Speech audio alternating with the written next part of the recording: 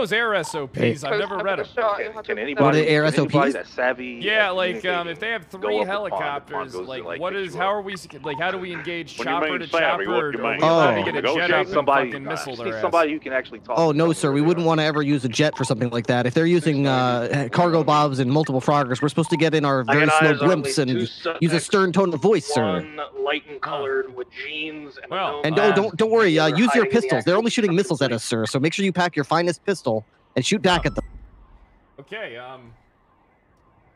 Uh, is, is this how we die?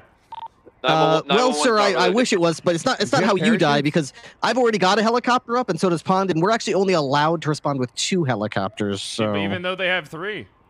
yeah, well, as far as I know, it's only two Second per suspect in two dark heli- two- wait, two I got a police helicopters per suspect as criminal well, helicopter, light so they've got three clothing. What if we helicopters, got so I guess- by six froggers?